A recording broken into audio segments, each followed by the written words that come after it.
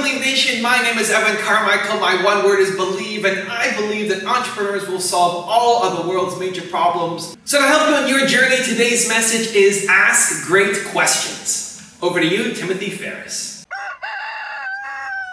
I wake up every morning. Espresso keep me going. I wake I find that levels of success in almost any industry or area correlate to a person asking great questions. In some cases, they seem absurd. In fact, the hallmark, in a way, of great questions is that they sound completely ridiculous. So, someone might ask, like Peter Thiel, why can't you achieve your 10 year goals in the next six months? As a thought exercise, that's a, that's, that's a good question to answer for yourself. Uh, and these types of questions come up surprisingly often uh, with, with very, very impressive folks, whether it's in business, military, entertainment, or otherwise. And the way you can get better at questions is by studying interviews in part. So I studied Larry King, I studied Charlie Rose, I studied Terry Gross, I studied da da da, da go down the list.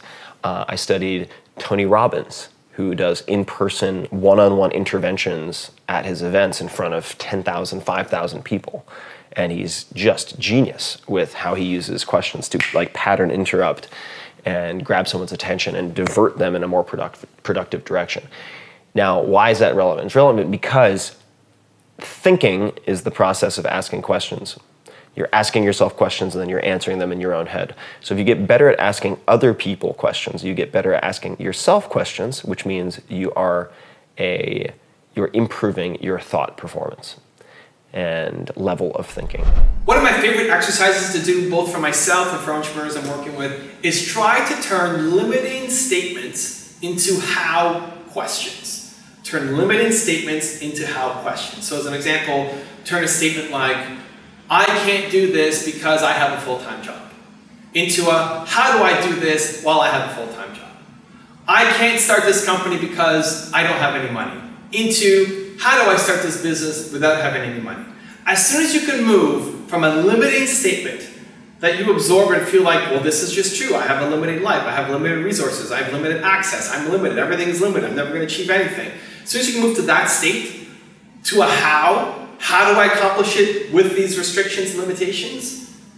Then you start to break out of your box then you start to have the ability to do more amazing things. And so it's catching yourself to know when you're saying really limiting statements and then asking that question of how can I accomplish it, accepting these limitations that I have right now.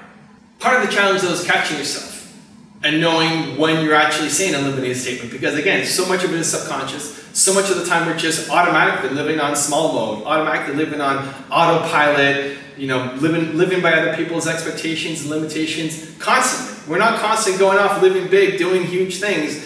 We're living in survival mode so often. So being able to catch those limiting statements can be difficult. Here's one of my favorite exercises on how to fix it. Look at yourself in the mirror. Go do it. Look yourself in the mirror, pull out your phone and look at yourself in the phone, and ask yourself, why am I not more successful? Why have I not hit my goals? Why have I had this goal for the past three years and I haven't made progress on it? Why is it still a someday goal? Why have I not done the thing that I said I want to do that seems important to me? Why have I not done it? And somewhere in there is going to be an answer, right? Like, don't look away until you get an answer. And then from there, that's one of your limiting statements. That's probably the most powerful limiting statement that you have. Well, I'm not able to be a success. I haven't hit my goals because I didn't go to university. And everybody who has success went to university right? That's a story that you kind of replay over and over and over and over and over again in your mind. Great, that's your limiting statement. Let's turn that into a how. How do I accomplish my goal and start my business without having a university education? How do I surround myself with resources and people who prove to me that it's possible to go off and do this? Because lots of entrepreneurs have done it. Right? So I find that exercise so helpful. Look at yourself in the mirror or write it down on a piece of paper. I have not accomplished my big goals yet because Write it down. Maybe there's multiple reasons. One, two, three, four, five, six, seven. Maybe fill out the whole page of reasons why you're not more successful, why you haven't hit your goals. Each one of those are limiting statements. And as long as you continue to believe them, As long as you continue to act by them, most of the time self-consciously. It's not like you every day wake up and just remind yourself, I haven't, I don't have a university education, so I'm not going to be successful. It's not like you have these negative mantras. You just do it automatically. It's how you're living your life by default. The limitations are hard to catch because it's just default.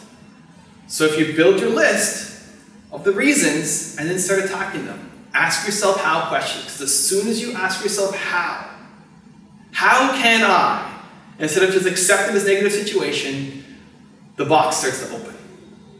The possibilities start to open. You move from a negative place to a positive one. You move from a resourceless state to a resourceful one.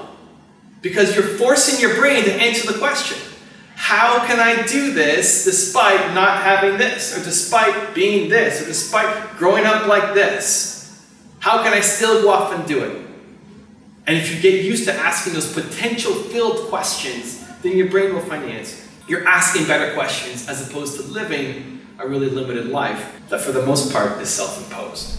So, the question day today is I'd like to quickly go through this exercise with you. Ask yourself, what is the one reason? Just pick one to start. You may have a huge list. But what is one reason why you're not more successful, why you haven't accomplished your main goals? Write it down in the comments below. And then next to it, write down the how to version of it. How can I version of it? And if you really want to take it the next step, answer that question. Answer the how to. I think if you do that consistently, it'll open up a world of difference for you. And I'd love to spark right here on this episode. So leave it down in the comments below. I'm really curious to see what you have to say. I also want to give a quick shout out to Mike Phillips. Mike, thank you so much for picking up a copy of my book, Your One Word. I really appreciate the support, Mike, and I hope you enjoyed the book. So thank you guys so much for watching. I believe in you. I hope you continue to believe in yourself and whatever your one word is. Much love, and I'll see you again tomorrow morning for another shot of espresso. I wake up every morning. Espresso, keep me going. How would you tell us to develop a habit Yeah. of curiosity? Well, you know what? People do look at me and see me as creative because I've written so many books, and I am curious. But when I started off in college, in, in, in, my, in my freshman psych class, they gave us a, a test that for each student to take on creativity. And there were 17 in that class. I can remember it well. And I was at the bottom of the class on creativity. I mean, I was like number 17 out of 17. And, and, and, and what the teacher posted the scores. And so, I mean, I saw how bad I was. And, and, and then I really felt bad, not only because I wasn't creative, but I was going to go pastor, I was going to go into ministry, I was going to teach, I was going to do sermons.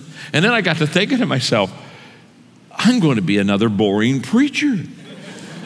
And you know, that just gripped me. I thought, oh, this is going to be awful. I'm going to bore people all my life, you know what I mean? And, and I'm going to ask them to pay while they hear me. I mean, this is an awful deal. So, and, and, and so, two things I did, and I talk about it in the book. One, one is I started filing. I started taking thoughts and quotes. And the reason I started doing that is I thought, if I'm not going to be good at what I say, I need to quote somebody that is good. And so I started filing things that other people would say. So I'd go around and I'd say, well, Ken said, you know what I mean? And Joe said, and Susie said. And so that at least I would be a little bit more interested. And that's how it started. But the big breakthrough, the big breakthrough I had was, and this will help everyone. If, if how many of you would like to be more creative? Let me let me see your hands, okay? How many of you'd like to uh, just absolutely uh, have an imagination that just took you to a new level? You know, what I'm saying, okay. How, how many of you already have that because you're on drugs? Okay, okay, okay. Well, here, here- here's here, here's the, here's the key. This will work for you. I promise it'll work for you because it worked for me. I made a major change in my early 30s from just having answers and being a leader that just had to cast vision, and show everybody what I was doing and where we were going. And I started asking intentional questions. And I became a person, I ask questions all the time. Every day, I ask questions. And I have found just asking questions will take you on exciting journeys more than anything else. You're you excel in that, Ken. I've watched you over the years. You'd excel really in that. But for my early years, I didn't ask enough questions, and so therefore I didn't get enough ideas and thoughts from others. So when people say, I want to be more creative, what's step one? Step number one is ask more questions. Just go to people and start asking questions. It's amazing what you'll learn. But I'm obsessed with this idea of no standard terms. So when we when we uh, were first getting started and, and took took financing, uh, our our lawyers would, would take us through the documents and they'd say, "Oh, you don't worry about it. It's all standard." Um, and at the time, I'm like, oh, sure, standard, that's great, no, no issues. Standard standard, yeah. no problem. Um, and I've since learned that standard means either the person uh, who's walking you through the documents doesn't understand them, uh, or you could be uh, getting taken advantage of. Um, so uh, when someone says something standard, just ask why, um, and why, and why, and why, until you really understand, uh, you know, intricately, I think, how, how the deal's structured. And so I, I think uh, the big thing that we took away from that is, you know, standard terms is a huge red flag, and beyond that, just be afraid to just continue asking why.